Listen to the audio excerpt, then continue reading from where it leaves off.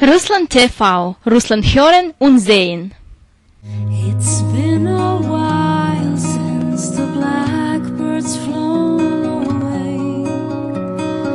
It's been a while I used to see it every day. I've been to Die Vorbereitungen sind momentan in vollem Gange.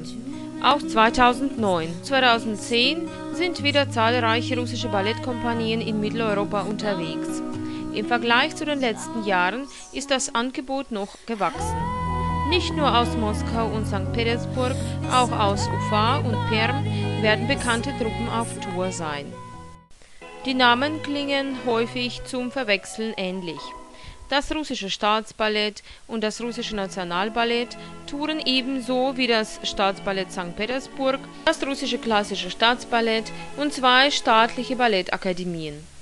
Von der Nordseeküste bis nach Österreich, Schweiz und Liechtenstein gibt es kaum noch weiße Flecken auf den Tourplänen.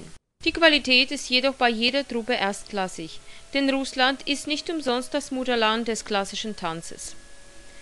Die berühmtesten Ballettschulen der Welt befinden sich im Land und alle Tourneetruppen rekrutieren die dort besten Absolventen.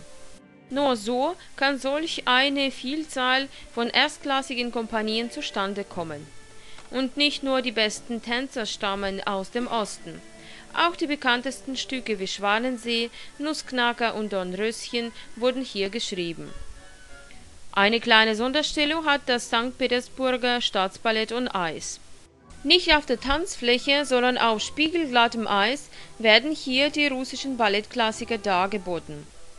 Von ehemaligen Olympioniken und Weltmeisterschaftsteilnehmern des Eiskunstlaufs.